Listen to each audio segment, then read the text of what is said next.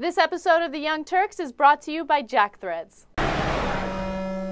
Speaking of bad ideas, you remember Erik Prince, the guy who used to own Blackwater? Well, he moved to the UAE because there was all these charges against him, and he's basically a crook.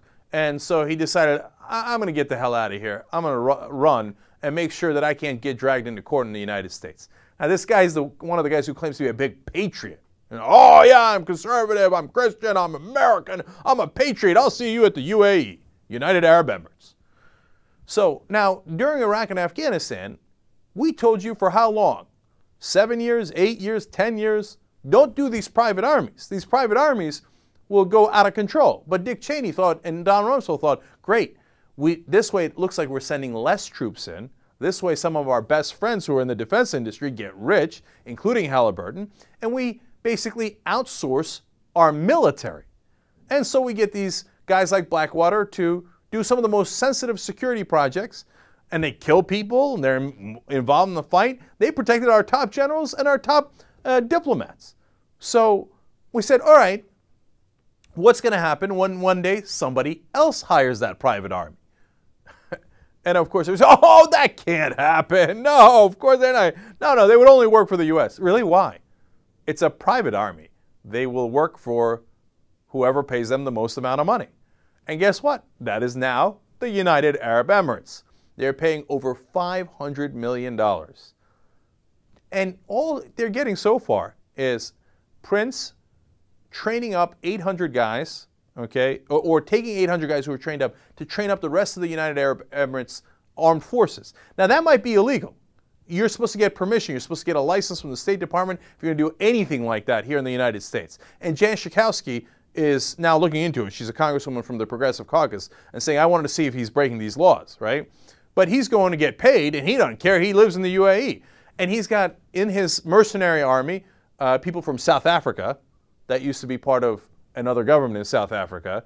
A lot of great folks here. He's got people from Colombia, etc. He's got from people from all over the world that he's built up as mercenaries. They're going to do it a second round a little later where they're going to bring in a slightly larger army. But the point is for them to be the elite and to solve whatever problems that the dictators in the UAE have. And remember, they're dictators. You can call them royalty, you can call them kings, you can call them princes, you can call them anything you like, but it ain't a democracy. They rule as dictators. So they have hired these mercenaries, and one of their objectives is like protect the oil fields, etc., keep the peace, yada yada, train our soldiers.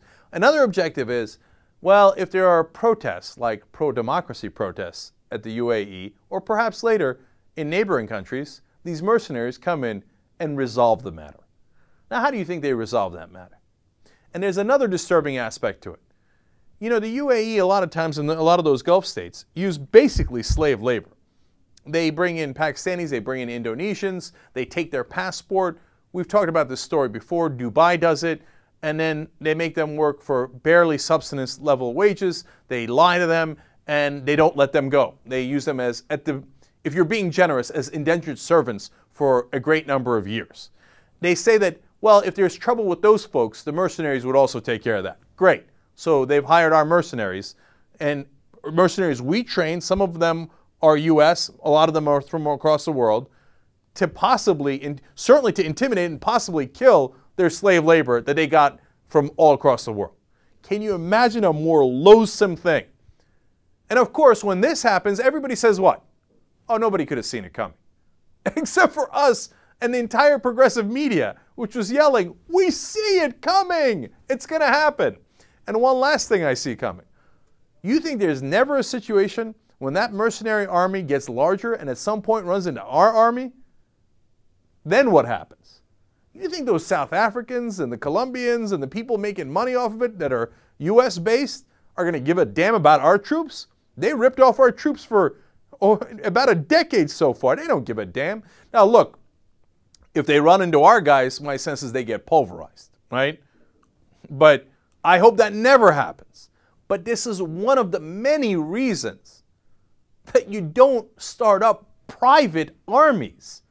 They're called mercenaries for a reason. We've known that it's a bad idea for centuries. And yet we did it. So stupid. Jack Threads is a new sponsor for TYT. They're a members only online shopping club, but because you know us, you're going to get in. Aren't we cool? but here's the key part to it 80% off. Hello, up to 80% off of the some of the top apparel lines in the country. Game over. Right. So go to jackthreads.com slash TYT because it's free to join and you get all those discounts and you avoid the pain in the ass. The ending of this commercial is a little schwang wang wang.